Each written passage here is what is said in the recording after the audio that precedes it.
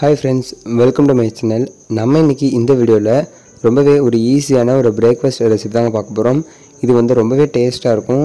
நீங்களும் கண்டிப்பாக அந்த வீட்டில் ட்ரை பண்ணி பாருங்கள் மறக்காமல் நீங்கள் நம்ம சேனலை சப்ஸ்கிரைப் பண்ணிக்கோங்க. இப்போ நம்ம வீடியோக்குள்ளே போய் எப்படி ரவை இட்லி செய்யலாம் சொல்லி பார்த்துடலாம் ஸோ ஃபஸ்ட்டு இந்த மாதிரி ஒரு பேன் வந்து ஹீட் பண்ணிக்கோங்க. அதில் ரெண்டுலேருந்து மூணு டேபிள் ஸ்பூனில் பார்த்தீங்கன்னா ரீஃபைண்ட் ஆயில் வந்து ஆட் பண்ணிக்கலாம்.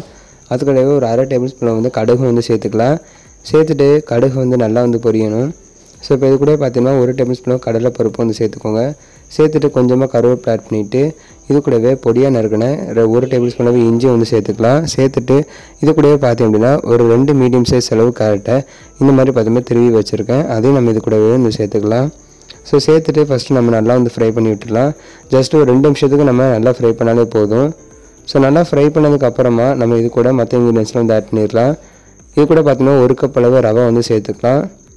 ஸோ அதே அதே கப்புக்கு பார்த்தீங்கன்னா ஒரு கப் அளவு சேமியாவும் வந்து சேர்த்துக்கோங்க. சேர்த்துட்டு இது ரெண்டுத்தையும் நல்லா வந்து நம்ம வந்து வறுத்து வந்து எடுக்க போகிறோம் ஸோ இந்த கேரட்டோட சேர்த்து நம்ம நல்லா வந்து ஃப்ரை பண்ணி எடுத்துக்கலாம். நல்லா ஒரு அஞ்சுலேருந்து பத்து நிமிஷம் நல்லா ஃப்ரை பண்ணணும். இப்போ பார்த்தீங்க அப்படின்னா நல்லா ஒரு பத்து நிமிஷம் போல் ஆகிடுச்சு நல்லா லோ ஃப்ளேம்லேயே வச்சு இந்த மாதிரி வந்து ஃப்ரை பண்ணி எடுத்துக்கோங்க. ஸோ இந்த மாதிரி ஃப்ரை பண்ணதுக்கப்புறமா இதை வந்துட்டு இன்னொரு மிக்சிங் பவுலுக்கு வந்து ட்ரான்ஸ்ஃபர் பண்ணிக்கோங்க. ஸோ ட்ரான்ஸ்ஃபர் பண்ணிவிட்டு நம்ம இது கூட மற்ற இன்க்ரீடியன்ஸ் எல்லாமே ஆட் பண்ணிடலாம். இப்போ இதில் ஒரு அரை அளவு பார்த்தீங்கன்னா தயிர் வந்து சேர்த்துக்கோங்க. நல்லா புளிச்ச தயிராக வந்து சேர்த்துனா நல்லாயிருக்கும். ஸோ ரொம்ப வந்து புளிச்சிருக்க தேவை கிடையாது. இப்போ இது கூட வந்து கொஞ்சமாக வந்து தயிர் வந்து சேர்த்துக்கலாம். சேர்த்துட்டு இதுக்கு தேவையான அளவு உப்பு வந்து சேர்த்துக்கோங்க. நல்லா வந்து கலந்து விட்டுக்கோங்க. ஸோ இந்த தயிர் எல்லா கூடயும் மிக்ஸ் பண்ணதுக்கப்புறமா இது கூட கொஞ்சம் வந்து தண்ணி சேர்த்து நம்ம நல்லா வந்து மிக்ஸ் பண்ணிக்கலாம். ஸோ நல்லா வந்து கொஞ்சம் கெட்டியாக வந்து மிக்ஸ் பண்ணிக்கணும். ரொம்ப வந்து தனியாக இருக்கக்கூடாது. ஸோ நல்லா ஓரளவு பார்த்திங்கன்னா கெட்டியாக இருக்கணும். ஸோ பாருங்கள் இந்த மாதிரி பார்த்திங்கன்னா இருக்கணும். ஸோ இது அப்படியே பார்த்தீங்கன்னா ஒரு அரை மணி நேரத்துக்கு அப்படியே வச்சிடலாம். ஸோ நல்லா இதில் வந்து ஊறட்டும். ஸோ நான் அரை மணி நேரம் ஆயிடுச்சு இப்போ இந்த மாதிரி பார்த்தீங்கன்னா இட்லி பிளேட் வந்து எடுத்துக்கோங்க.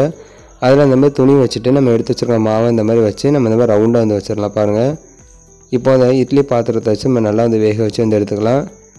ஸோ நல்லா வந்து முப்பது நிமிஷம் வேக வச்சு வச்சுக்கோங்க. பார்த்தீங்கன்னா குத்தணும் அப்படின்னா அந்த ஸ்டிக்கில் எதுவுமே வந்து ஒட்டாமல் இருக்கணும். அப்படின்னா வெந்துருச்சுன்னு அர்த்தம். அவ்வளோதான் ஃப்ரெண்ட்ஸ் ரொம்பவே ஈஸியாக நம்ம ரவையும் சேமியாக வச்சு காலையில் பிரேக்ஃபாஸ்ட் வந்து நம்ம ஈஸியாக வந்து ரெடி பண்ணிடலாம்.